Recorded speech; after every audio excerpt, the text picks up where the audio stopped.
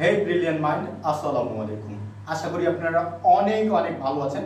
আজকে আমি আপনাদের সঙ্গে কিছু মিনিং নাউন অফ মিনিং যেগুলোকে বলা হয়, বা হচ্ছে মিনিং অফ নাউন্স এগুলা নিয়ে কথা বলব, যেটা আমাদের স্পেশালি স্পোকেনের জন্য এবং আইএলটিএস এর জন্য অনেক অনেক গুরুত্বপূর্ণ। So let's get started the first and foremost is deadline আমরা সবাই জানি ডেডলাইন কথাটা কিন্তু আমরা যে কোনো জায়গায় বা যে কোনো প্রজেক্ট বা anywhere you can hear the word is deadline deadline মানে হচ্ছে to finish a project by a specific time আপনি যখন কোনো একটা কাজ শেষ করতে যাবেন, তার আগে আপনাকে যে একটা সময় দেওয়া হয় this is call deadline okay I have a deadline আমরা বলি না যে আমাদের একটা ডেডলাইন আছে বা আমাদের একটা এ আছে। So when you need to finish something in a specific time that time you need to use deadline. Next one is very very important. আমরা সবাই বলি অকুপেশন অকুপেশনের বাংলা হচ্ছে পেশা।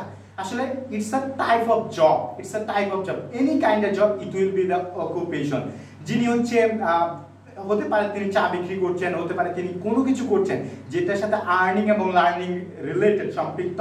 So it will be the part of occupation sometimes it বা or occupation or part-time or full-time it's depend on and next one is nurture. Nurture means to help grow or develop. To help grow or develop. এটা হচ্ছে আপনি যখন specially যখন IELTS speaking এ use করবেন it will booming your IELTS score next one is a tuition আমরা সবাই কথাটা জানি যে টিউশন টিউশনি tuition teacher tutor so tuition হচ্ছে the fees for studying a course যখন আপনি একটা কোর্সে ভর্তি হলেন you need to pay something that time, it will be the tuition. It will be the tuition. Next one is the ceilings, the inside of the roof the inside of the roof one is is down town এই ওয়ার্ডটা খুবই খুবই গুরুত্বপূর্ণ। আমি যদি এখন বলি I'm living downtown of Dhaka city I'm living downtown of Kalabagan I'm living downtown of Dhanmondi so downtown মানে হচ্ছে the city centre the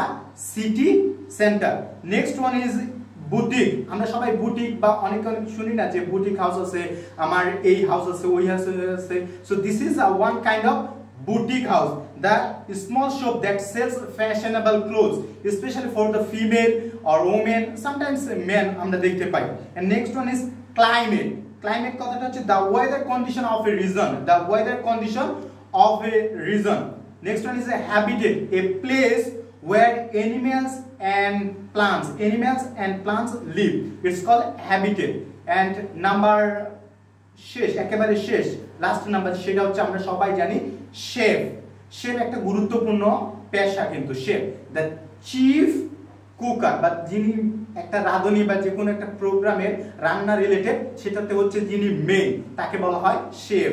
If you guys use in your practical uh, uh, speaking in those kind of words it will help a lot to making a good speaker in english. At the same time when you sit ielts especially speaking module and writing module when you will try to use it will be great for you to booming your ielts score minimum 7 or 7.5 that's all about today's video. Thank you thank you for staying with us. See you next video. Till then you will be keep in touch. Allah hafiz and assalamu alaikum